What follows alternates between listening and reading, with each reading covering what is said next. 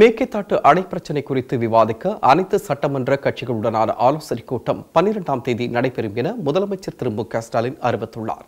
காவிரி ஆற்றின் குறுக்கே மேக்கைத்தாட்டு என்ற இடத்தில் அணை கட்ட கர்நாடக அரசு முயற்சி மேற்கொண்டுள்ளது.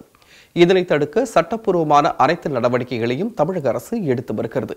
இந்த சூழ்நிலையில் விவசாயிகளின் நலனை காப்பதில் தமிழகத்தில் உள்ள அனைத்து தரப்பினரின் ஒருமித்த எண்ணங்களை பிரதிபலிக்கும் வகையில் மேக்கைத்தாட்டு அணை பிரச்சினை குறித்து சட்டமன்ற கட்சி பிரதிநிதிகளுடன் கலந்து ஆலோசிக்க தமிழக அரசு முடிவு செய்துள்ளது.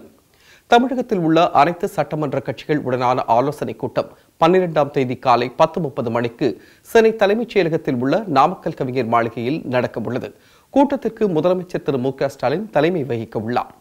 இந்த கூட்டத்தில் தமிழகத்தில் உள்ள அனைத்து சட்டமன்ற கட்சித் தலைவர்களும் கலந்து கொள்ள முதலமைச்சர் அழைப்பு விடுத்துள்ளார்.